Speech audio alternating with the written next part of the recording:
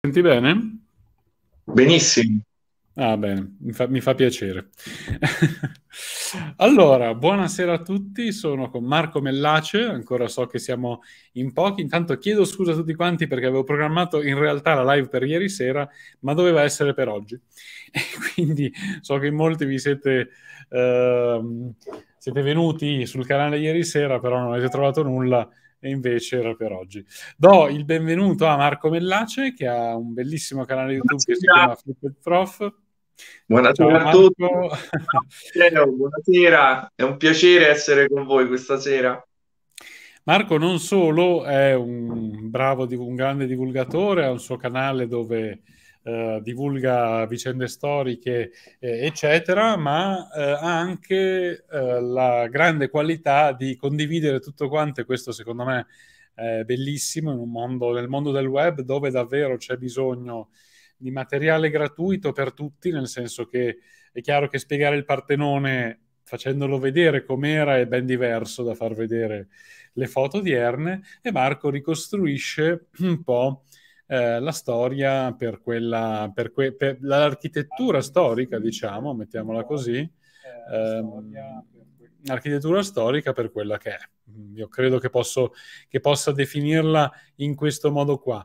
Magari Marco ci spieghi un po' come funziona questo tuo, il tuo lavoro, diciamo, di ricostruzione, come fai a ricostruire eh, i vari ambienti. Adesso io ho, penso già utilizzato diversi tuoi filmati eh, su dei castelli crociati, forse ancora non sul Partenone, però è diciamo quello che mi sta venendo più utile per l'esame eh, di storia greca che ancora devo, che devo dare a breve. E poi hai ricostruito Roma, hai ricostruito tantissimi posti. Ecco. Sì. Ti chiedo un po' come fai e come funziona il tuo sì. processo creativo. Ecco. Allora, a livello proprio di preparazione dei lavori, eh, io cerco di fare, di non lasciare mai nulla al caso, nel senso che ti faccio un esempio. Eh, attualmente sto ricostruendo Veio Etrusca sì. e ovviamente tutto il processo di, di, lavorazione che c'è dietro è abbastanza complesso. Si fa innanzitutto una, una ricerca filologica, quindi eh, si cerca di arrivare alle fonti, a tutte le fonti disponibili, le fonti degli storici, quindi la preparazione, eh, il primo tassello è certamente il riferimento degli storici, perché ritengo le fonti storiche il non plus ultra, proprio per cercare di, di creare un qualcosa di, eh, di attendibile.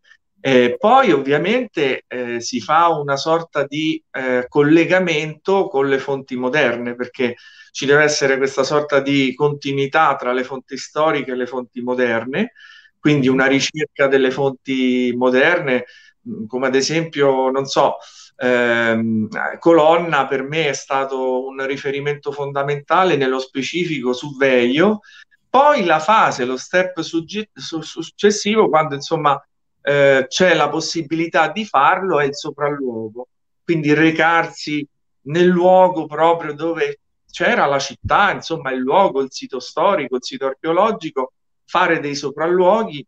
E io ho fatto il sopralluogo lo scorso gennaio eh, con l'archeologo Michele Damiani e ho voluto documentare proprio questo sopralluogo, infatti sono usciti una serie di video di contenuti multimediali all'interno del mio canale nel quale ho documentato il sopralluogo che altro non è che un tassello della ricerca che mi è servito proprio in fase di ricerca per la ricostruzione di Veglio e poi okay. piano piano, gradualmente eh, riproduco e quindi faccio uscire i miei video, le ricostruzioni 3D, eh, ad esempio per quanto riguarda Veio, il santuario del Portonaccio è stata la prima cosa che è uscita proprio sul canale a livello, ecco qua infatti si vedono anche i video che ho, mm. che, che ho, realizzato con Michele Damiani che parla di Veio, del santuario del Portonaccio e questa è tutta una, una serie di una carrellata di video. Questo è il santuario del Portonaccio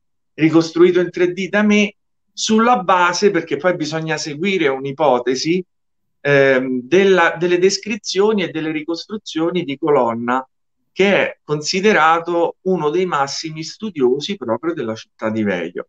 Col passare del tempo ho cercato di non lasciare nulla al caso anche per quanto riguarda i dettagli. Questo è proprio il santuario del Portonaccio. Possiamo vedere le statue che decoravano proprio il tetto del santuario, nello specifico eh, al Museo di Villa Giulia sono conservati l'Hermes, eh, la Tona con Apollo bambino e Apollo, quindi tutte queste statue vanno proprio, io le ho ricostruite come dovevano essere, proprio per cercare di dare eh, una verosimiglianza vicina a quello che doveva essere il santuario del Portonaccio. E di solito il mio manuale Cencelli è sempre quello, nel senso che cerco di ricostruire eh, I miei lavori poi li considero un cantiere aperto, nel senso che sono sempre migliorabili.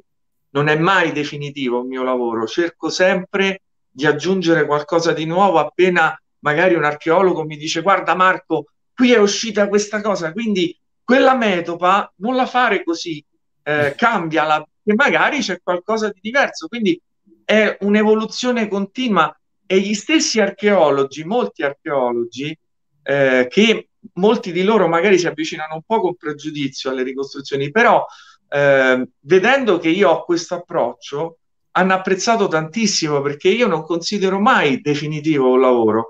Per me è sempre un cantiere aperto, quindi se un giorno si dovesse scoprire che il santuario del Portonaccio aveva quella colorazione specifica eh, sulle colonne, io non ho nessun problema ovviamente a cambiare la colorazione delle colonne, ma ben venga, sarei felice, sarei, sono io il primo ad essere felice di fare una variazione per cercare di migliorare un lavoro, anche perché poi questi lavori vengono utilizzati anche da molte scuole, da molte università come strumento di supporto ed è importante anche la condivisione gratuita di questi strumenti perché molti ragazzi riescono a farsi un'idea di quello che ad esempio doveva essere un sito archeologico. Quindi io certamente cerco di farlo con passione proprio per eh, appassionare eh, a tanti ragazzi che magari hanno difficoltà anche a farsi un'idea di un sito archeologico e vorrebbero saperne di più. Sì, te lo dico da studente, secondo me è importante, nel senso che certo che cioè, vederlo ricostruito in 3D, il tempio è tutt'altro che vedere, cioè capirlo con le descrizioni, che a mio parere è molto difficile. Ecco. Poi, Matteo, posso dire una cosa? Sergio Leone diceva sempre, dicono, allora, io dice per carità, so fare il regista, però mi servo sempre dei migliori, della migliore fotografia, del migliore montatore, del migliore sceneggiatore e così via. Eh, cioè cercava di raggruppare i migliori per creare poi un, un film eh, degno di nota, no? E poi ne ha creati di capolavori. E io Oggi cerco, è possibile però, vedere cose. La cosa proprio importante, cerco di, eh, ecco, eh, di, eh, di cercare proprio le persone che possono veramente aiutarmi. Ad esempio, per quanto riguarda, come dicevo, il santuario del Portonaccio, mi ha aiutato Michele Damiani, che è un archeologo stimato, un grande esperto proprio del territorio dell'agro veglientano. Quindi, per quanto riguarda invece ecco, l'Ara della Regina, mi ha supportato Francesco Galluccio, che saluto, grande archeologo e artista rievocatore storico. Quindi, quando cerco di fare queste cose, cerco anche di affidarmi a quelle persone che ne sanno più di me. Con molta umiltà lo dico perché magari io stesso non posso sapere tutto, quindi devo chiedere alle persone e avere il massimo rispetto per le persone che eh, ne hanno fatto una vita, cioè ne hanno fatto una sì, vita vabbè, della, della, loro passione. Adesso mi sembrerebbe impensabile che tu conosca qualsiasi santuario, qualsiasi uh, tempio, qualsiasi dettaglio sull'archeolo- sulla, sulla, sì, sulla, sull'archeologia e sull'architettura antica.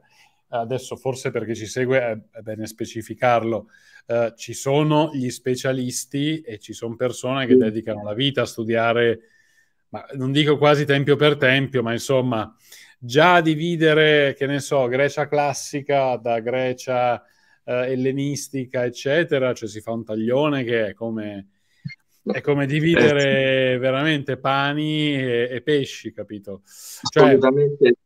C'è, c'è, bisogno di specializzazione, nel senso che ogni epoca, ogni corrente artistica ha una sua, come dire, ha le sue specificità. Ecco, io adesso sto cercando di impararne tante insieme e faccio fatica, ecco. Quindi uh, non è facile perché tanto veramente ogni epoca è proprio diversa l'una dall'altra. Adesso poi in realtà, uh, per dire, noi ci immaginiamo, hai presente no, a scuola che si studia la Grecia come precedente ai Romani, poi in realtà già nel Settecento, con la fondazione di Roma, nel, nell'VIII secolo, uh, c'erano già i templi romani, c'erano già i templi romani, ecco, quindi eh, non è proprio così, però insomma, veramente studiare tutto è difficile, penso. Sì, e poi Matteo, la cosa importante, ecco, mh, questa cosa proprio che mi dici giustamente, tu dici nell'ottavo secolo, nel settimo secolo c'erano già i tempi romani. Per quanto riguarda proprio la scuola nello specifico, credo che sia importante poi dare veramente un'idea a questi ragazzi, anche, anche in maniera stilizzata, però l'importante è che gli venga dato un input eh, veramente veritiero, perché loro hanno degli stereotipi nella scuola eh, che non vengono scardinati. Ad esempio, quando si parla di storia romana, dal 753 a.C. al 476, loro hanno come stereotipo il Tempio Corinzio. cioè, questa eh, cosa è fatta, ovviamente. Invece bisogna dir loro, ragazzi, guardate che nel 600 a.C era più facile trovare un tempio a Roma che somigliasse a un tempio etrusco piuttosto che a un tempio corinzio imperiale e loro rimangono affascinati da certo, queste cose. Certo. Quindi questo tipo di lavori aiuta anche loro a dargli un'idea effettiva di quello che era, cioè il soldato romano non era il soldato con la, la spazzola, la, la, la, scopa in testa per tutti i 1100 gli anni di vita dell'esercito romano. Quindi questi lavori, anche quando io eseguo eh, questi disegni stilizzati, cercano anche di non lasciare nulla al caso per quanto riguarda questi piccoli dettagli. Quindi, in un certo senso, eh, il mio obiettivo è quello di avvicinarli alla storia. Poi ci sono canali stupendi, come ad esempio quello di Matteo di Vanilla Magazine, che è l'occasione per approfondire, per appassionarsi ancora di più. Quindi io sono una sorta, credo, di elemento complementare che fa da aggancio con queste realtà, eh, che sono quelle ad esempio di Matteo e altri, e altri divulgatori eccellenti che approfondiscono e quindi io magari do il là a, ad interessarsi su qualcosa e qui vediamo ad esempio c'è un porto eh, romano, una, una, ricostruzione ipotetica di Alcium con la nave di Enea e, e, quindi certamente questo è un trampolino che può aiutare loro anche a scoprire altre realtà eh, nelle quali è possibile poi approfondire la storia in maniera più dettagliata e approfondita come fai tu egregiamente. Quindi certamente... È proprio un modo diverso, nel senso che io poi sì. non è che, cioè tu, sei, tu approfondisci la parte visuale, io dopo parlo delle storie ecco, che posso conoscere, quindi se parlassimo di Enea, della fondazione di Roma, eh, eccetera, eh, sicuramente avere un documentario sulla nave di Enea sarebbe fondamentale per capire poi come questo da Troia arrivi a Roma. Ecco, cioè, sì, ehm... Certo, che poi qua sulla nave di Enea eh, la persona che mi ha supportato nelle ricerche ecco, mi ha aiutato, mi ha fatto capire una serie di aneddoti. Eh, questa è impropriamente chiamata la nave di Enea perché in realtà eh, questa è una costruzione che molto probabilmente Augusto fece fare per ragioni pro- propagandistiche, tutta quella serie di cose che fece eh, per ragioni propagandistiche, si disse che questa era la nave di, di Enea, eh, il fondatore quindi di Roma, eh, però in realtà mh, probabilmente ecco, la nave che vide Procopio è una nave risalente al primo secolo, probabilmente. Sì, Quindi sì.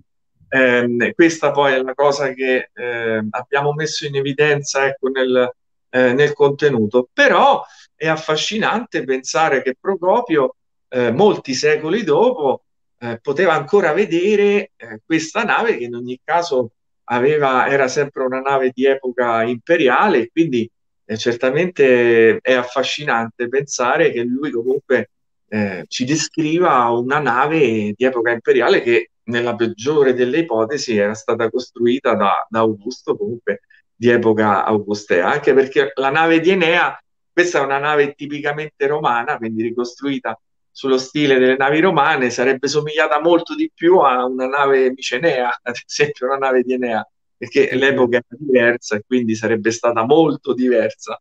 E invece, ovviamente, abbiamo ricostruito, ricostruito questa nave seguendo le fonti anche in questo caso, quindi ho eh, seguito eh, le fonti di studiosi illustri dell'epoca moderna eh, come Cascarino, Giuseppe Cascarino, perché eh, mi, mi, ha supportato tanto, ecco, grazie alle sue pubblicazioni, eh, per quanto riguarda la realizzazione del, delle fortificazioni romane, del Vallo di Adriano, del Vallo Antonino e anche proprio della, della nave di Enea. Eh, ho potuto dare ecco, un'immagine in 3D, quindi si parte sempre da illustrazioni 2D e si cerca di dare poi quelle sembianze in 3D facendo anche molta attenzione ai colori, eh, Matteo. La colorazione è una cosa fondamentale, anche perché i ragazzi hanno lo stereotipo eh, indotto dall'influenza neoclassica. Loro sono convinti, molti di loro, che questi templi, ecco, nel Partenone nello specifico, fossero bianchi. Dice, professore, ma come mai ha messo il colore? È perché erano colorati. Però il neoclassicismo... Quindi qua c'è, c'è l'Atena Promachos, che è bellissima, una statua di Fidia. E... Statua colossale. È stata colossale, poi dopo dentro, non so, dentro arrivi a far vedere l'Atena Parthenos, immagino, sì? Sì, e... sì, sì, l'Atena Parthenos. Allora, io eh, considero una cosa, eh, il Partenone l'ho ricostruito quattro volte, come ho specificato sul mio libro. E, e hai fatto di... bene, guarda, e hai fatto bene perché è un po' dove comincia, secondo me, guarda, no, non dove comincia, ma è proprio dove si raggiunge il massimo, il massimo grado del, uh, non so come dirti, della bellezza del mondo classico. Ecco. Sì, metto, della bellezza. Peraltro, sì. andando sull'Acropoli ancora oggi, garantisco, almeno io che sono andato un po' di volte, posso garantire che non si è persa quell'atmosfera di bellezza, nonostante sia tutto distrutto sostanzialmente. Però mm. la, veramente la bellezza di star lì ad Atene è veramente unica. Non, non ho provato una sensazione simile da nessun'altra parte. Poi adesso è tutto spoglio, come diciamo, quindi tutto neoclassico, no? Come eh, piaceva sì. Winkelmann, se non ricordo male. E, ehm, sì. Però una volta era diverso. Ti dico, io rimango sempre impressionato. Ecco. Tu sei stato, sei stato a Atene, immagino, hai visto Acropoli. Eh, ricostruirla, sì, sì, ricostruirla dopo averla vista, com'è stato? È stata un'emozione incredibile perché, come hai detto tu, giustamente una parte di te proprio entra, cioè una parte di questo luogo, una volta che lo vedi, entra dentro di te. Cioè, se sei sensibile poi alla cultura classica, eh, è una cosa inevitabile. Eh, ricostruirla è stata un'emozione infinita. Ogni volta che l'ho ricostruita, cioè dalla ricostruzione più stilizzata, cioè quella più in, magari indicata eh, per eh, ragazzi un po' più piccoli alla ricostruzione più dettagliata ho provato sempre la stessa sensazione, la sensazione di tornare indietro nel tempo. E, e questo mi ha dato, cioè quando sono salito, quando ho attraversato i propilei, e per la prima volta ho avuto la sensazione veramente di fare un viaggio nel tempo. Ma non solo però eh, nell'Acropoli di, di, Atene, la stessa sensazione l'ho provata eh, ad Olimpia, Mm-hmm. In tutti i luoghi dell'antica Grecia ho sempre la sensazione che il tempo si, si fermi, si sia fermato. E, e qui è, è, vero, qui è, ecco l'interno, l'interno ovviamente l'ho dovuto ipotizzare molto perché si sa molto poco dell'interno, però eh, questa è l'ultima ricostruzione, quella più dettagliata che ha avuto diversi consensi in tutto il mondo, tant'è vero che adesso eh, ci sarà un documentario eh, girato da Sabine Carbon, eh, una regista tedesca, eh, proprio sull'Acropoli, il Partenone, e verranno utilizzate le immagini eh, del mio Partenone. Però mi ha aiutato molto sulla ricerca Andreas Arcadios, che è un filologo, un filologo greco e un mio collega, molto bravo, molto preparato, che mi ha dato tanti, tanti suggerimenti anche sulle colorazioni e sul possibile aspetto dell'interno. E molte cose le ho potute ricostruire grazie alla sua preziosa consulenza, come ti dicevo prima, affidarsi a persone che certamente ti possono dare un aiuto per quanto riguarda le ricerche. E questa è Ercolano, la ricostruzione di Ercolano, eh, nello specifico questo è il termopolio eh, di Ercolano che ho ricostruito tra il 2020 e il 2021 e sono stato molto felice di ricostruire Ercolano perché eh, l'ho vista Ercolano come l'Acropoli e anche ad Ercolano si ha la sensazione veramente di tornare indietro nel tempo perché c'è tutto ancora praticamente in piedi e quindi eh, credo che sia uno dei posti eh, più importanti a livello anche di informazioni per quanto riguarda i costruttori 3D. Questo è il Termopolio, quindi che era una sorta di, di bar, ristorante della, dell'epoca, era un luogo eh, di ritrovo ecco, per i romani e eh, Ercolano certamente è, stato, è stata una ricostruzione molto impegnativa, soprattutto per quanto riguarda gli interni. E poi Matteo, la cosa eh, importante da sottolineare è che più dettagli ovviamente l'archeologia ci restituisce, più difficile la ricostruzione perché dobbiamo attenerci ovviamente ai ritrovamenti, a quello che ci viene detto e quindi non possiamo personalizzare troppo. Un conto è ricostruire una città della Magna Grecia che ci ha restituito poco magari a livello di ritrovamenti, ma in questo caso ricostruire il Polano devi cercare di fare veramente le cose al millimetro. Perché ti, chiedono, ti chiedo, infatti c'è una domanda su questo di sì. Berenice Marino che ci dice, dato i colori, che i colori sono sbiaditi nel tempo, sa quali ingredienti o tecniche avevano usato per i colori? Ma ehm, credo che non, non, dovevano essere troppo diverse dal, dagli elementi che utilizzavano i pittori medievali, rinascimentali, eh, però erano colori molto terrestri, erano colori ehm, anche vivaci, accesi, cioè non c'era una, una colorazione sbiadita. È chiaro che poi eh, noi quel poco di colore che ci, ci arriva, ci è arrivato a noi, ci arriva sbiadito, ci arriva soprattutto per quanto riguarda i ritrovamenti dell'antica Grecia, non ci arriva quel colore vivace che doveva essere. Eh, però c'erano diverse tecniche, sicuramente eh, nello specifico molto variava anche in base alla commissione, anche in base alle maestranze. Eh, non credo che ci fosse ecco, una, mh, mm, un ingrediente, un, una selezione di ingredienti specifica. Credo che molto doveva adattarsi anche al tipo di di statua da colorare, se si doveva colorare una scena sgargiante, una scena più vivace, si utilizzavano certamente ecco, dei materiali eh, che eh, ci permettevano di ottenere delle miscele di colorazioni più vivaci. Qui, per esempio, eh, il tempio di Era Lacina a, Era Lacina a capocolonna, e in questo caso purtroppo eh, non c'è rimasto tantissimo a livello visivo, anche se c'è tantissimo a capocolonna, però il problema della ricostruzione 3D è anche la stratificazione storica, perché è ovviamente un sito archeologico come Sibari, come capocolonna, sono tutti siti archeologici che hanno delle stratificazioni. Ad esempio, ricostruire Sibari è stato difficilissimo perché la Sibari arcaica eh, era enorme e sta sotto la Sibari classica eh, che sarebbe Turi, e sopra a Turi c'è la città romana, Copia, quindi è tutta una serie di stratificazioni e la Sibari arcaica ci restituisce poco, pochissimo, nulla, non sappiamo nulla perché sta sotto, è tutta da scoprire.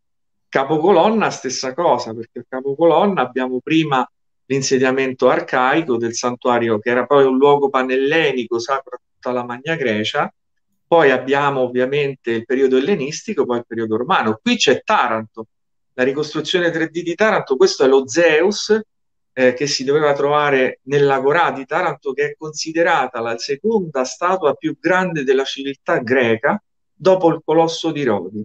Era una statua colossale, Strabone dice proprio che era una statua colossale che si poteva vedere anche da molto lontano, dal Mar Grande di Taranto, era una statua saettante con questi fulmini, era, stava sempre lì, per scagliarti un fulmine questa statua ed era eh, un capolavoro assoluto e Taranto certamente per un certo periodo fu la città più bella e potente non solo della Magna Grecia, ma anche dell'intera civiltà greca, perché Taranto eh, fondata dagli Spartani, fra l'altro, questo lo ricordo. L'unica colonia in Magna Grecia spo- eh, fondata proprio dagli Spartani. Tu sai che quindi... in realtà sto facendo storia greca e il mio professore mi ha detto, guarda, mh, mm, sì, potrebbe, cioè, sicura, probabilmente sì, però c'è qualche dubbio, ecco, cioè, lui almeno sì. mi ha detto che esiste un qualche dubbio sul fatto che sia stata proprio fondata dagli Spartani o meno, insomma.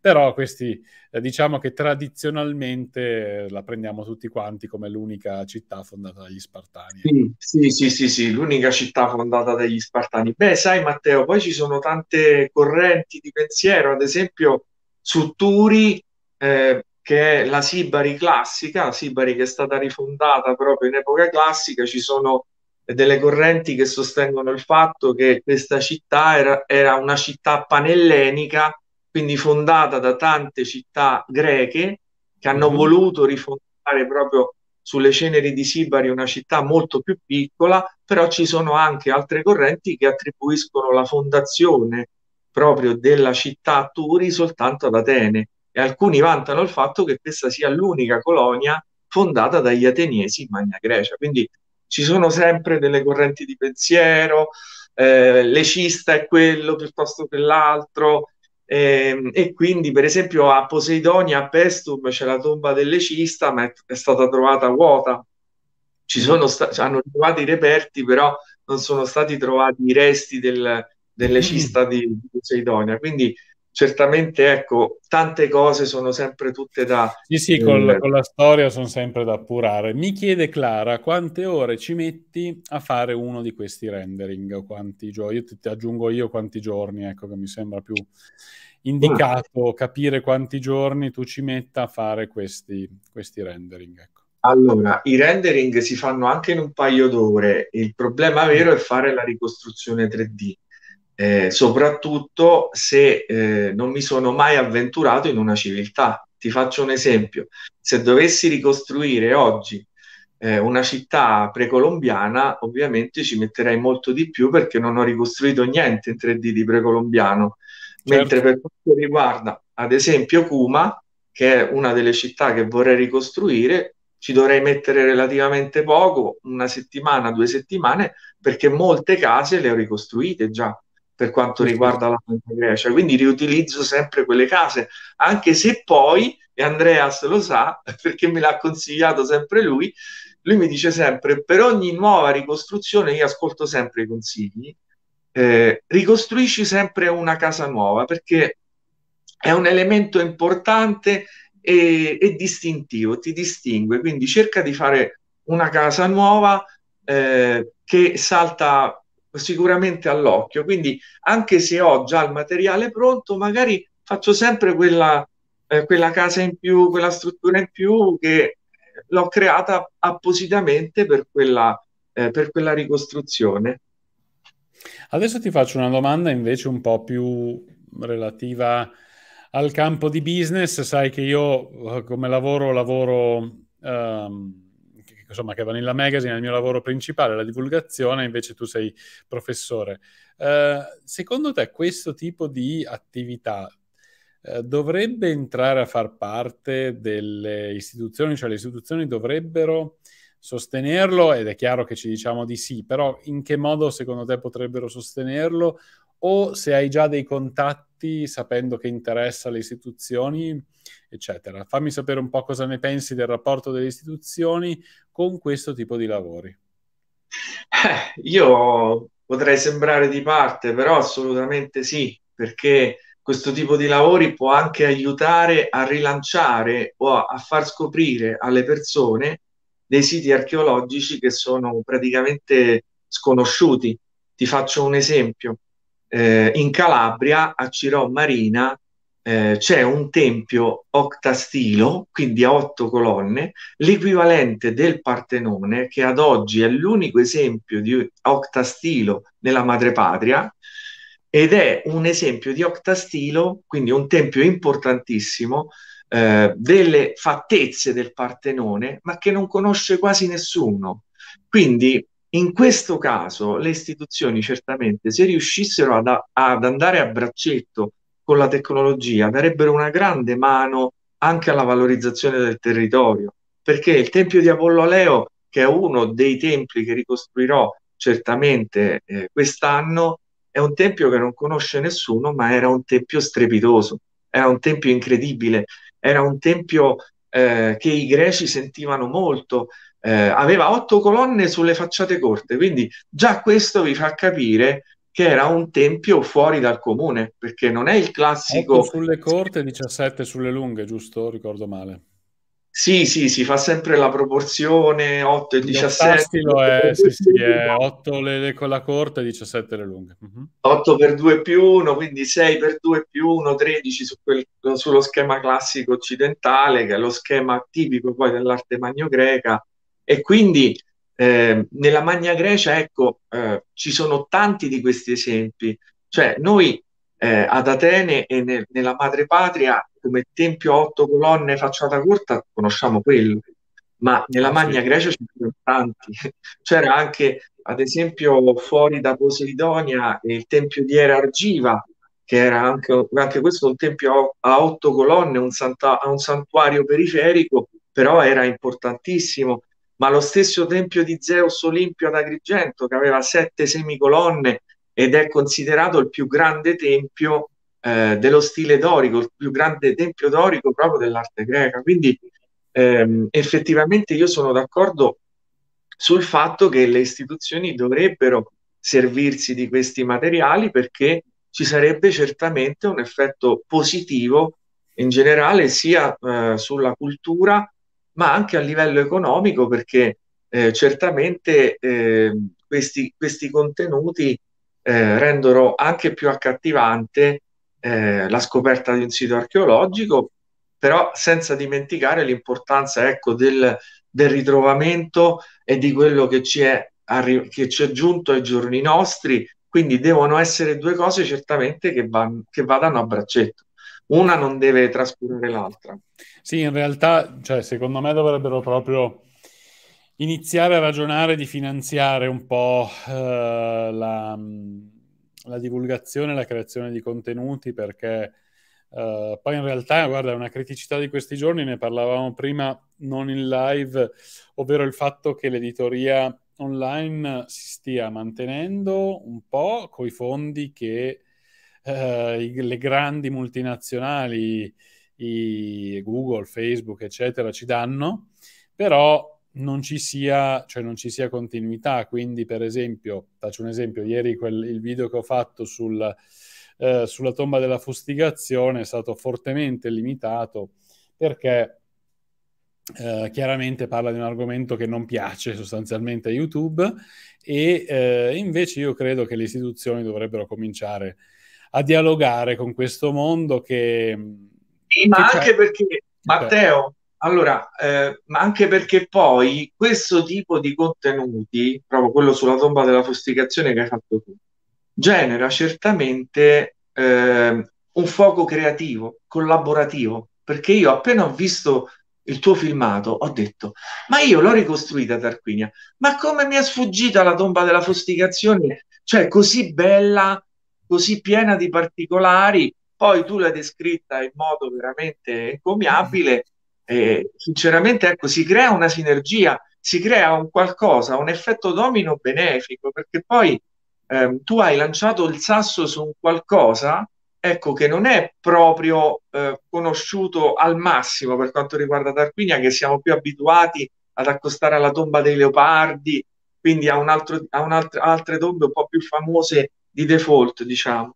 Però, ecco, questo eh, tipo di eh, contenuti crea certamente un effetto domino positivo perché io stesso mi sono detto ecco vedi però la dovevo ricostruire quindi eh, contributo di Matteo capacità divulgativa di raccontarti un qualcosa eh, contributo grafico di Marco e poi lì ci deve essere il ritorno dell'istituzione che vede, dell'istituzione che osserva, dell'istituzione che riesce a percepire che dall'altra parte ci sono comunque degli utenti che alla fine, per quanto magari la piattaforma possa penalizzare, arrivano, magari arrivano più diluiti, ma arrivano perché ah, vanno contro l'algoritmo, perché poi se un contenuto è di qualità, a lungo termine le persone lo apprezzano, al di là proprio di quello che decide all'inizio l'algoritmo. E io sono testimone di questo, eh, Matteo, perché molti dei miei contenuti partono svantaggiati sull'algoritmo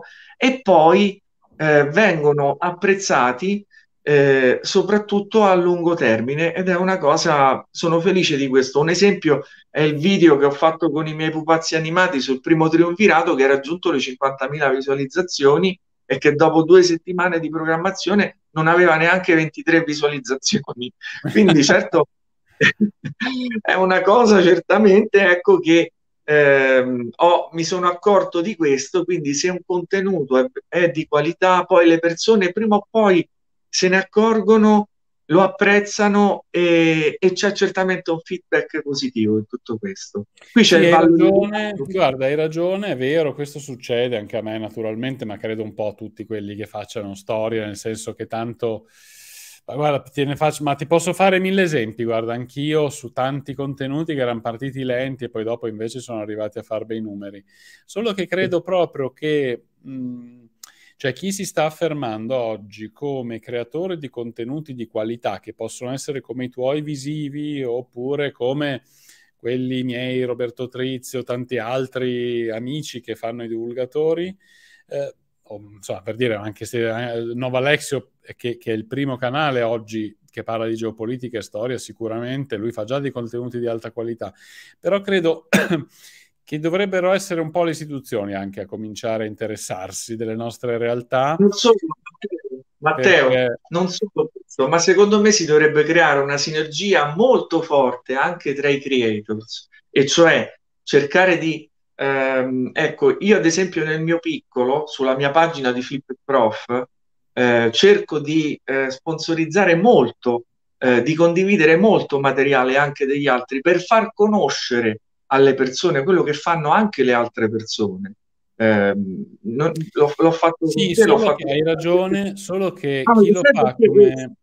Questa, come questa la... è una cosa importante. No, è una cosa importante, Matteo, lo sai perché ti dico questo? Perché noi ci rendiamo veramente conto del lavoro che c'è dietro, della difficoltà che c'è a fare questi contenuti. E io mi metto nei tuoi panni e so quanto è difficile fare questo tipo di contenuti. Per questo che io nel mio spazio non ho alcuna difficoltà a dire c'è Matteo, Vanilla Magazine, c'è Matteo con il suo canale personale che fa cose bellissime, vi consiglio di seguirlo, come qualche altro eh, youtuber, pur, youtubers. Purtroppo però no, non tutti hanno questa, eh, ci si vede più come competitor e secondo me è sbagliata questa concezione. No, guarda, ti dico, non per tutti e non da tutti. Secondo me chi chi ha avuto un buon, avuto un buon uh, sì, chiamiamolo successo, non la vede più questa cosa. Per dirti, io e Roberto, ma anche io e Simone di Nova Alex, abbiamo fatto tanti video insieme. Questa cosa qui cioè, la vedo molto di più a livello di canali che ancora devono trovare un'identità, mettiamola così. A sì. livello di creator che già hanno una bella identità, che hanno già una bella realtà, non, la vedo un, non lo vedo un problema perché tanto sei già, fra virgolette, affermato quello che secondo me invece sarebbe importante eh, è proprio il fatto che l'istituzione riesca a come dire, finanziare questo tipo di attività perché? Perché ti consente in questo modo di non essere più dipendente dall'editore grande che hai dietro, che in realtà è YouTube, Facebook, eccetera. Perché se io faccio un contenuto e sono sempre obbligato a cercare di fare dei contenuti il più ammiccante possibile, eh, ti dico, è un problema. Per dirti, adesso io non lo faccio, però, ma neanche di nessuno di quelli che ho citato, e figurati tu. Però per dire, ci sono tanti canali di pseudostoria in Italia che fanno sostanzialmente dei video di intrisi, no? di falsità, di falsi storici, eccetera, proprio apposta perché per tirare, no? Ma io un po' li capisco perché cioè, tu, tu, tu, fai il video che, che ne so, eh, il mistero di Nerone che ammazza tutti quanti e quanti ne ha ammazzati, è chiaro che se io ti dico guarda che Nerone oi, non è così vero, anzi è per nulla vero che era un imperatore più terribile degli altri, non tira quanto, che ne so, Nerone che ammazza Poppea, ecco, cioè è, è tutto, è tutto il fa- è, secondo me è un po' il, il, il ragionamento di dire l'istituzione dovrebbe venirci incontro e capire un po' qual è, qual è lo scenario oggi di editoria online, di creatori di contenuti online e ecco, sostenerci. A mio parere questo è un po' nel tuo caso, ad esempio, le tue ricostruzioni visuali penso che po- potrebbero trovare una buona, cioè, secondo me dovre- dovrebbero essere sostenuti dalle, dalle, istituzioni. Un po' questo, ecco, che, che, intendevo dire. Hai un'altra domanda, ovvero, oltre alla Grecia, se puoi fare qualche ricostruzione sull'antico Egitto. Quindi abbiamo uh, richieste. Eh beh, assolutamente, già c'è qualcosa. Ho, ho ricostruito la piana di Ghisa, eh, tra le altre cose è un lavoro che verrà eh, utilizzato per un documentario su France D. Laissez-vous faire è il programma e eh, si vedrà proprio una sequenza di un minuto, due minuti della ricostruzione 3D che ho fatto della piana di Ghisa, ehm, che ho realizzato eh, in prima battuta per i miei studenti e, e poi, mh, poi in seconda battuta ovviamente per gli appassionati di storia, storia 3D, eh, molte persone me la chiedono sempre perché ho cercato di eh, ricostruire la piana di Ghisa anche co- conservando e facendo attenzione alle peculiarità della piana di Ghisa. Eh, ad esempio, una di queste è la punta della piramide che aveva praticamente questo rivestimento in oro ehm, ed era visibile anche da molto lontano perché brillava eh, questo rivestimento proprio della piramide di, di, Cheope. Tra le altre cose, questa è una ricostruzione eh, molto discussa perché, eh, come dicevi tu giustamente, su internet molti fanno anche un po' di storia, diciamo, che non segue le fonti ufficiali. E soprattutto questo è un sito archeologico molto bersagliato da questa diciamo controtendenza. Io ti posso dire una cosa, Matteo, da costruttore 3D ti posso dire che per quanto mi riguarda, se conta qualcosa il mio parere, non lo so, però ti posso dire che le, le piramidi eh, sono state fatte eh, dai, dai, faraoni, ecco. Ma non solo. Allora, eh, c'è una cosa che ci dice questo, non c'è bisogno di andare troppo lontano. Se eh, si conoscesse bene eh, la topografia del territorio, molte persone magari che hanno dei dubbi su questo eh, potrebbero capire questo sapendo dell'esistenza di un quartiere di operai delle piramidi. C'era sia un quartiere sia un cimitero di queste persone che parteciparono alla costruzione delle piramidi. E io ho ricostruito questo, questo sito archeologico. Poi io, per carità, sono sempre aperto a tutte le strade, a tutte le soluzioni, però eh, è ovvio che eh, certamente ho dovuto dare un'impronta eh, che, se, che, che se doveva seguire proprio la storia ufficiale in prima battuta perché sono un insegnante e al di là di questo le mie opinioni personali eh, devono mh, essere scorporate da quello che eh, viene fatto in sede di, di divulgazione. Quindi la storia ufficiale è una cosa che deve essere rispettata, anche perché io non sono eh, una persona che è nella posizione di dover riscrivere la storia. Quindi io ho ricostruito la piana di Ghisa seguendo le fonti ufficiali. Questo Potevi metterci qualche alieno che veniva giù con l'astronave e... o qualche astronave aliena. diciamo ecco che mi hai, mi hai anticipato ecco quello ma sai Io, guarda ti dico eh, non li fai mai contenti io mi rendo no, chi è che non mi ricordo mi ha fatto una critica uno un altro giorno mi ha fatto proprio sorridere ma su una roba assurda non, non mi ricordo. Però poi dopo vedi cioè ogni persona magari si, si fa un'idea no, di un mistero, cioè qualcosa che per lui è troppo grande per essere spiegato, tipo le piramidi, che effettivamente sono state un'opera enorme, colossale, Eh, però non teniamo conto che all'epoca l'Egitto era pratica quasi l'unica potenza, naturalmente non l'unica, eh, però erano veramente molto ricchi, ecco, riuscivano a concentrare su di sé un, grandi ricchezze del mondo conosciuto, del mondo, del mondo civi- no, civilizzato è una parola ottocentesca, no, del mondo che si stava sviluppando, ecco. Ehm, quindi le piramidi sono state uno sforzo enorme che sono riusciti a fare con successo. Ecco, io la vedo, la vedo solo così, poi che adesso sì. si sia persa la memoria del come, ma questo è poco indicativo, ecco, però è solo, è solo perché si è persa memoria. Ma, certo, ma la stessa miscela del calcestruzzo del Circo Massimo, delle costruzioni romane, questa non la sappiamo, cioè gli ingredienti non li sappiamo noi, le miscele esatte, quindi figuriamoci un qualcosa che è stato ricostruito duemila anni prima, quindi sono perfettamente d'accordo con te, assolutamente. Quindi eh, credo che lì ci sia un concentrato di opere d'arte, di opere architettoniche fra le più belle in assoluto della storia antica. Nel mio specifico, personalmente ritengo che l'uomo abbia raggiunto in epoca antica e non solo il suo apice in due circostanze e lo dico da costruttore 3D. Eh, il Circo Massimo, certamente, è stata un'opera incredibile che ancora oggi mi chiedo come abbiano potuto fare a costruire uno stadio di 250.000 spettatori, eh, ma eh, uno stadio, un, un, ambiente polifunzionale, un ambiente incredibile. Eh, e un'altra opera che secondo me veramente rasenta la perfezione divina è l'Artemision di Efeso che io ho ricostruito in 3D ed è un qualcosa di straordinario. Ecco, queste due opere sono fra le cose più belle che l'uomo abbia mai potuto costruire in generale. Non ci dimentichiamo mai l'armonia del Partenone, assolutamente.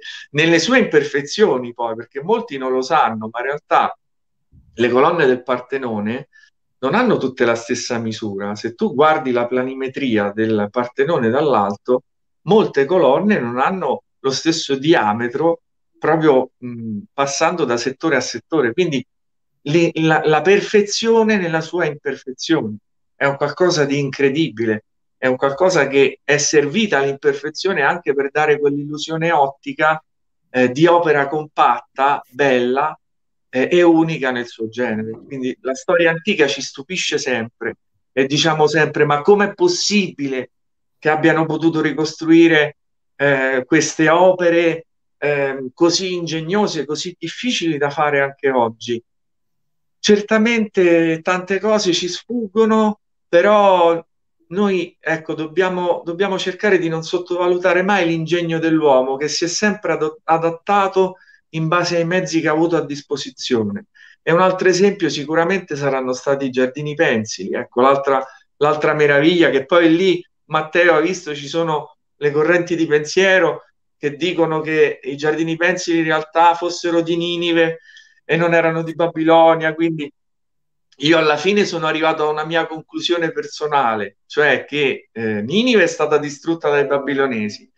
Eh, I babilonesi hanno visto la meraviglia dei giardini di Ninive e a loro volta hanno provato a replicare la bellezza dei giardini di Ninive ed è uscito fuori, ecco, è uscita fuori la, eh, la creazione di Nabucodonosor con i giardini considerati la, la, settima, una delle meraviglie del mondo antico. E questa è proprio Ghisa dall'alto. Come vedete, all'epoca eh, non era un ambiente propriamente desertico, c'era sicuramente molta più, molto più verde, più vegetazione. Poi noi siamo abituati a ricordarci principalmente le tre grandi piramidi, però tutto intorno c'erano i sepolcri dei membri fa- della famiglia reale, quindi altre piramidi più piccole. Poi stranamente la piramide di, di Cheope in realtà è più piccola, è più, è più bassa, però stando su un altopiano dà l'illusione ottica di essere più alta rispetto alla piramide di, di, di, Cheope.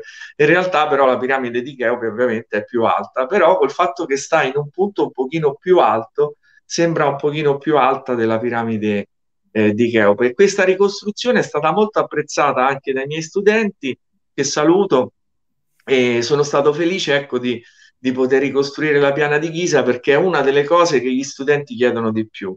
il Colosseo, la Piana Beh, di sì, dai, ha un fascino la Piana di Izza che, che, che, che credo che non, sì. non abbia nessun'altra eh, nessun altro luogo. Sì. Io l'ho vista dal vivo, dal vivo è un po' diverso, però devo dire non è, cioè è veramente bellissima, è qualcosa di qualcosa che ti lascia senza fiato, anche perché cioè, ricordiamo che noi siamo molto più vicini ai romani di quanto i romani fossero vicini agli egizi. Cioè, è, cioè è, ha veramente un, un'antichità quel, quel, luogo che noi non... Insomma... Sì, Matteo, per, no, perché noi siamo abituati no, a prendere il mondo antico e metterlo tutto dentro un unico pacco. In realtà non è così, perché poi i romani all'epoca facevano i turisti e andavano a vedere le antichità dell'antico Egitto come facevano i turisti guarda anche ad Atene fra l'altro che, che abbiamo tutte le, le, descrizioni di Pausania famosissime uh, su tutti i dipinti eh, ma qua mi apri un mondo. Matteo mi apri un mondo infinito. Cioè tu mi nomini Pausania io qua potrei restare fino a domani mattina a parlare. Proprio perché Pausania è stato, io gli devo molto a Pausania perché tramite Andreas ho approfondito Pausania e la mia ricostruzione 3D di Sparta, tra le altre cose, signori, io conosco questo ragazzo, Matteo, bravissimo, che ha 40 anni, che è dell'82, da un video che ha fatto su Sparta e io quando ho visto questo video su Sparta sono rimasto veramente senza parole perché lui fece proprio un reportage su Sparta bellissimo, ho detto guarda se capita se dovesse capitare l'occasione di conoscerlo, sarò felice perché questo video su Sparta mi era piaciuto tantissimo e eh, Pausania mi ha aperto un mondo perché Pausania con il suo viaggio eh, nella madrepatria, nella Laconia eh, in generale, descrive Sparta eh, in maniera così bella, così appassionata e lui era, come dicevi tu, un turista. Altro non era che un turista affascinato, curiosito che andava e chiedeva anche eh, qualcosa, ad esempio ai custodi. Eh, so che lui chiese, ad esempio, eh, qualcosa ai custodi del tempio di Zeus ad Olimpia, cioè come, come lo conservate. Eh, mi sembra che si fece dire praticamente la procedura, perché ovviamente quella era una statua griso-elefantina in oro e in avorio, quindi va, andava pulita in un certo modo per la conservazione, quindi lui ci faceva spiegare queste cose. Era una sorta di viaggiatore eh, dell'antichità che avrebbe potuto fare una trasmissione ecco, di divulgazione sui viaggi alla ricerca della scoperta della storia. È vero, e grazie a Pausania, fra l'altro lo dico per chi ci segue che non ha studiato storia greca, conosciamo tantissime cose che non ci sono più e riusciamo ad esempio a identificare sculture come appartenenti a un, um, a un artista o a un altro proprio grazie alle sue descrizioni. Quindi eh, la descrizione che fa lui è fondamentale per, perché noi oggi riusciamo a conoscere chi ha fatto cosa, in tanti casi anche grazie a Pausania, e conosciamo cosa importantissima, l'ho detto nel video di ieri sul, sulla tomba della fustigazione, eh, conosciamo anche i dipinti greci, oggi, dei, dei quali oggi non abbiamo quasi quasi nessuna testimonianza, a parte la tomba del tuffatore a Pestum e a parte le tombe ellenistiche eh, del, del, tumulo di Vergina in, in, Macedonia. Hai un'ultima domanda che è ricostruzione sì. di Gobekli Tepe, struttura di quasi 12.000 anni. Fra l'altro ci ho fatto un video da poco sui terremoti della Turchia perché Gobekli Tepe è fra i siti che è stato eh, eh, interessato purtroppo dai sismi ti chiedono di fare una sì. ricostruzione di Gobekli Tepe. Promesso, prima o poi la farò. Conosco il sito, lo devo approfondire. Nello specifico, per quanto riguarda la Turchia, l'Asia Minore, ho realizzato qualcosa di non troppo lontano, Cataluyuk. E, ehm, ah, però ecco. quel sito Cataluyuk l'ho ricostruita e sono stato felicissimo di ricostruirla perché poi essendo considerata una delle primissime città della storia, aveva questa peculiarità legata al fatto che eh, gli abitanti avevano creato questa sorta di perimetro protettivo eh, di, di, città che eh, gli abitanti riuscivano a proteggersi perché in sostanza camminavano sopra i tetti. quindi sì. tutto intorno la città era chiusa e gli abitanti in realtà riuscivano a proteggersi perché la, la vita, la vita sociale si svolgeva all'interno di questo perimetro o sopra proprio eh, la parte superiore delle case. Eh, quel, quel sito archeologico nello specifico ti prometto che lo ricostruirò perché è un sito molto affascinante, ehm, come del resto anche tanti altri siti che ci possono dare tante informazioni. Baalbek, ad esempio, in Libano, quello pure è un sito archeologico che mi ha sempre incuriosito e lo accosto molto per sensazioni a questo sito archeologico che l'ascoltatore, quindi che l'utente, che lo spettatore ci ha menzionato. Sicuramente lo ricostruirò. Non so quando, però eh, lo ricostruirò, promesso.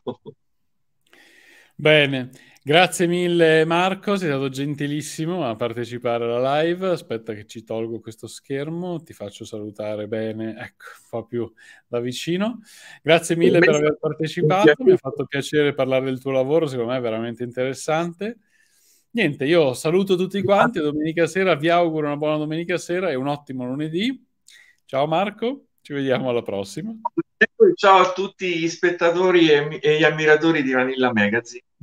Buonasera. Ciao, buonasera a tutti.